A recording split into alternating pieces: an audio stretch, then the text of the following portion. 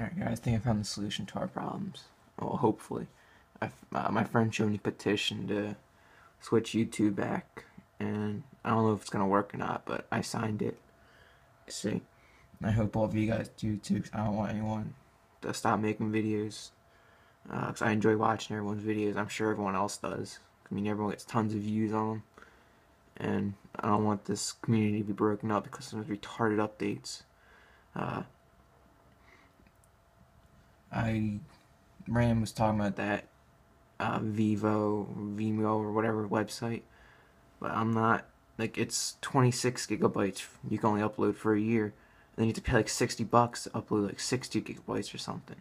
I'm not spending money to upload stupid little videos.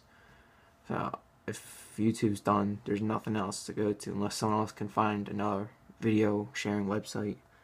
Uh, I mean, it's worth a shot. This isn't my last video. Hopefully, I'll keep uploading at least because I just upload from my phone and it doesn't take very long to upload videos for me because I just take, you know, short clips. I don't make long videos or anything.